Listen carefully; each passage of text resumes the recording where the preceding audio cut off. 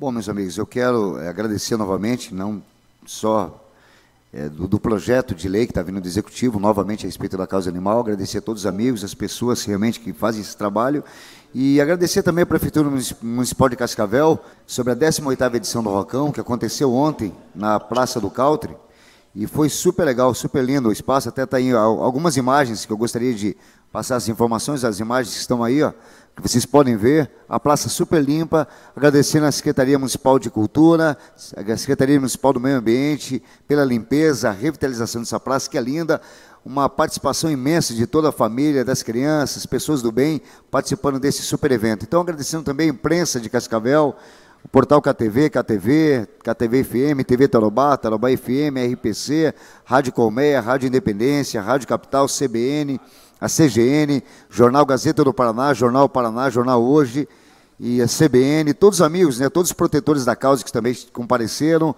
É, quero agradecer também aí a todas as bandas que participaram. Olha só, lotado a arquibancada, é um maior evento cultural no Brasil da causa animal, está se tornando. Por quê? Porque é uma causa justa, maravilhosa, com bandas que tocam, são, são várias bandas, várias tribos que se encontram nesse evento.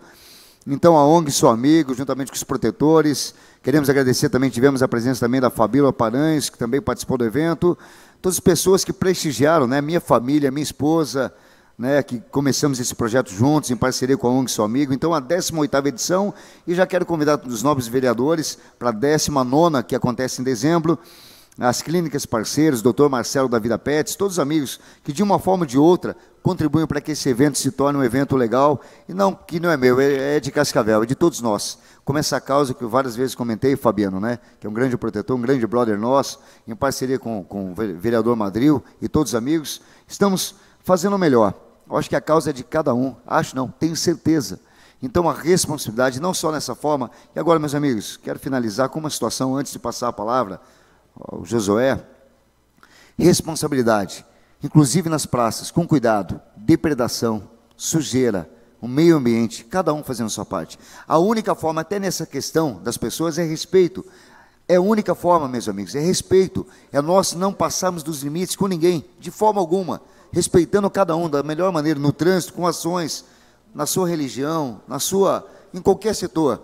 Pessoas, infelizmente, que causam problema. Eu sempre falo isso. Em tudo. Então, se nós cuidarmos dos espaços públicos, teremos um espaço adequado para todas as pessoas de bem. Se nós cuidarmos realmente no trânsito, parando na faixa de pedestre, as pessoas do pedestre também dando seu espaço, ações serão contempladas. É isso que eu vejo. Ações do bem trazem coisas legais. Deus abençoe a nossa cidade, que nós consigamos avançar.